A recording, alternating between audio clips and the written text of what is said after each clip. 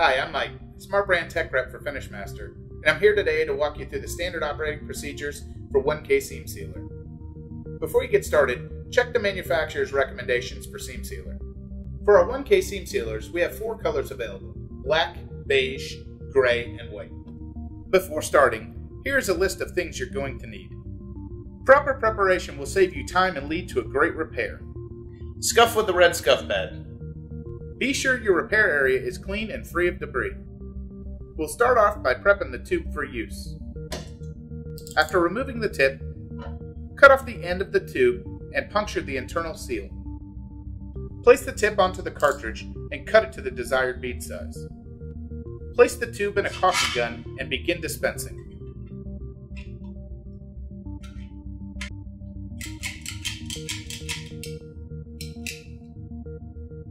Dispense product and spread or create textures as desired.